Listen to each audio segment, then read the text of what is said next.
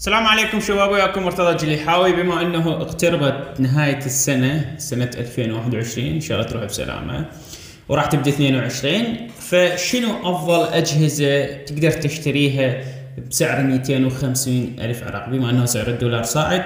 فاختاريت لكم مجموعة أجهزة ممكن تكون تعجبك ممكن ما تعجبك. أنا هذا اختياري. إذا طب السوق عندي 250 ألف عراقي أختار ذني الأجهزة. نبدأ بأول جهاز. أول جهاز هو ال Realme C 25 S. انتبه له. C 25 S من شركة Realme. هذا الجهاز يجيني بسعر 144 دولار ذاكرة 128 4 جيجا.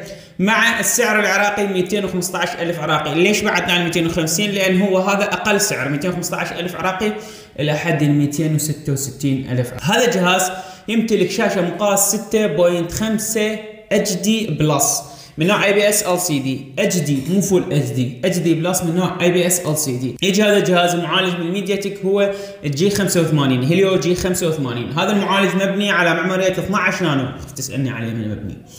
نعم قلنا ذاكرة ال 400 عن 128 هذا الجهاز يمتلك ثلاث عدسات بالخلف هي 48 ميجا بكسل زائد عدستين 2 ميجا بكسل كاميرته الأمامية 8 ميجا بكسل يمكن هاي الكاميرات راح تسمعها بأغلب الأجهزة الموجودة عندي بهاي الحلقة.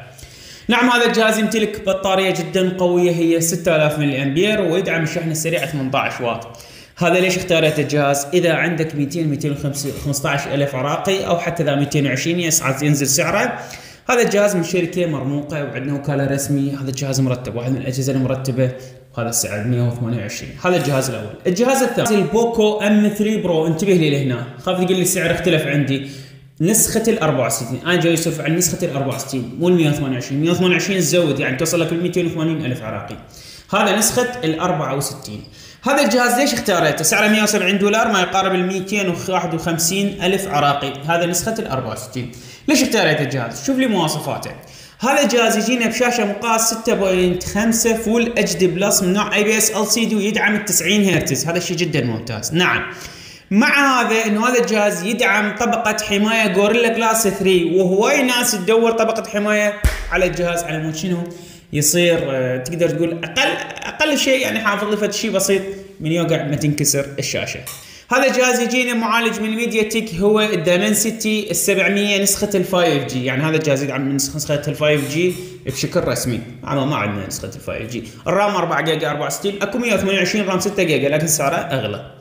هذا الجهاز يجينا بثلاث عدسات هو 48 ميجا بكسل 2 ميجا بكسل و2 ميجا بكسل يعني عدستين 2 ميجا بكسل هذا الجهاز كاميرته الأمامية 8 ميجا بكسل جربته هذا الجهاز. نعم جهاز حلو. الألوان تشطيبة الألوان حلوة الموجوده بالظهر عندك أصفر وألوان يعني حتى غير الأصفر التشطيبه مال الكاميرات تشطيبة اللون الأصفر الموجوده بالظهر شيء مرموق شيء جينا بطارية 5000 ملي أمبير تدعم الشحن السريع ل 18 واط. قلنا سعره قلنا مواصفاته ممكن يكون واحد من خياراتك. إذا تقدر تضيف أخذ ال 128 رام 6 جيجا نجي للاختيار الثالث. تكنو بوفا 2 ليش اختاريت تكنو؟ يابا التفكير اللي ببالك إنه الأجهزة الصينية أو هاي الشركات اجهزتها تعبانه شيلها من بالك جرب الجهاز وبعدين أحكم عليه. أنا أنصحك لله. جرب الجهاز وبعدين أحكم عليه. مره ما تجرب الجهاز يصير عندك فكرة تامة. نعم بإعلانات تكنو بإعلانات بإعلانات مزعجة. ممكن تلقي تعليق لكن عندك 250 ألف عراق إيش تاخذ منها؟ بتاخذ بها أجهزة راقيه وفاخه بس هاي الأجهزة تمشي حالك. ونعم تلعب بوبجي واغلبها اني يمشي لك 30 35 frame إذا تحس إذا تسأل على بشاشه عملاقة شاشة 6.9 اللي هي تكون Full HD Plus نعم هاي الشاشة كاملة وثقب بالكاميرا الأمامية فشي جدا راقي حقيقة. 6.9 شاشة جدا عملاقة كبيرة. نعم هذا الجهاز هاي الشاشة يمتلك بطارية 7000 ملي أمبير. إيش قد ناس تريد جهاز ببطاريه 7000 ملي أمبير؟ أنت اصفن وين روحك؟ إيش كم واحد يريد بطارية كبيرة تطول لك فوق اليومين يعني الأم 51 لحد الآن الناس تخابرنا عليه. أم 62 سامسونج لحد الناس لحد الناس تخابرنا عليه. ليش؟ لأن بطاريته 7000 ملي أمبير فيطول لك بيومين أقل شيء بالاستخدام المتوسط. نعم. هذا الجهاز يجينا معالج من ميديا تك هذا معالج موجود على أغلب الأجهزة. ال Helio ال G 85 موجود. موجود على أغلب الأجهزة. نعم. RAM 6 جيجا 128 حلو. ذاكرته. نعم عندك الكاميرات إيش موجودة بيه عندك 48 ميجا بكسل وثلاث عدسات 2 ميجا بكسل أما الكاميرا الأمامية راح تكون 7 آه 8 ميجا بكسل قلنا بطاريته ويدعم الشحن السريع 18 واط. 18 واط وهي 7000 ملي امبير كأنما شحن مو سريع. لكن أنت 7000 ملي امبير صدقني يومين يعني يكمل لك بالبرود يوم ونص بالبرود يعني. أنت إذا مستخدم تريد أجهزة تلعب ببجي أو تستخدم استخدام قوي هذا واحد من الأجهزة اللي يقدم لك هاي الخيارات. هاي إذا كنت أنت تتقبل أجهزة Tecno. أنا أشوف واحد من الخيارات الحلوة. ليش اختاريته ضمن الاختيارات. ممكن يعجبك ممكن يعجبك. نجي للجهاز اللي بعد الجهاز الرابع. هو ال Galaxy ال M 12 هذا الجهاز يجينا بشاشة مقاس 6.5 Full HD؟ لا. HD Plus. يدعم ال 90 هرتز. حلو. 90 هرتز. والشاشه تقدر تقول كبيرة مو صغيرة. يجي معالج ال Exynos 850 هذا المعالج زين بال A 21 S ليش اخترت هذا؟ ما اخترت ال A 21 S لأن هذا يجي ب 128 ال 21 S يجي ب 64 ذاكرة. هذا الجهاز يجينا ب 4 جيجا ال RAM و128 قلناها. الكاميرات راح يكون بأربعة عدسات. العدسة الأولى راح تكون 48 ميجا بكسل العدسة الثانية 5 ميجا بكسل عدستين 2 ميجا بكسل. صدقني هذا الجهاز أنا اختاريته الأخير يعني أخوي قال لي أريد جهاز ب 250 ألف عراقي. هذا واحد من الخيارات. هذا واحد من الخيارات اللي أنا دائما أخوي ما يحب شيء بسيط ما يحب شيء قوي فهذا واحد من خياراتي. إذا تقول لي شلون اختار سامسونج؟ هذا واحد من اختياراتي من ضمن الأجهزة سعر 250 ألف عراقي. السعر إيش قد؟ 151 حاليا نزل سعره 151 دولار 223 ألف عراقي أو 230 ألف عراقي باختلاف المحلات. نعم كاميرا الأمامية 8 ميجا بكسل كاميراته حلوة تعطيك أداء حلو. بطاريته 5000 ملي امبير ويدعم الشحن السريع 15 واط. شحن سريع هو شحن سريع؟ بالنتيجة شحن سريع. Type-C كل أكثرية يعني النقلتين انه Type-C نجي للجهاز اللي بعده. الجهاز راح يكون الجهاز الخامس. هذا الجهاز راح يكون من Realme يمكن ذكرنا Realme هاي المرة الثانية. هذا الجهاز حتى هذا الجهاز ذكرناه مرة ثانية. هو ال Realme Narzo 30 5G وهواي خبطت عليهم ال Narzo 30A وال Narzo 30 5G. وهذا جبته وصورته مرة ثانية. على مود أبين لك إنه أكو فرق ما بين ال Narzo ال A 30A و30 5G هواي راسلوني قالوا لي شلون تذكر ان هذا السعر هيك؟ وتذكر السعر. عبالهم مختلف نفس الاسم مو نفس الاسم. نسخة ال 5 جي يختلف عن ال 30 اي خلي في بالك هاي. هذا أنا أحكي عليه نسخة ال 5G هذا الجهاز يجينا بشاشة مقاس 6.5 Full HD Plus نعم يدعم ال 90 هرتز وهذا الشيء جدا محبب. وحتى الجهاز مصنعيته حلوة. اللمس مالته كلش حلو. يعني إطاراته حلوة لامع الجهاز الشاشة كلش حلوة الثقب الموجود بالشاشة يعطيك إيحاء بأنه الشاشه كاملة.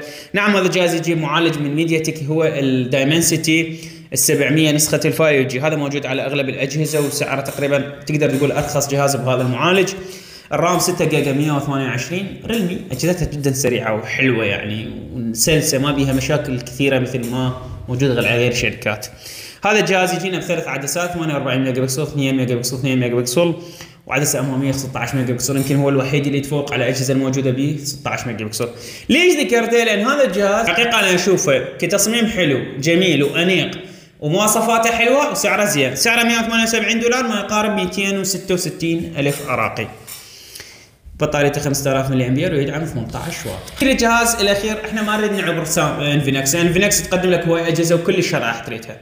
Infinix عندك ال Note 10 وعندك ال Hot 11S تقريبا مواصفات متقاربة، لكن أنا شفت المواصفات ال Hot 11S مواصفاته أفضل من Note 10 فاختاريت ال Note ال Hot 11S.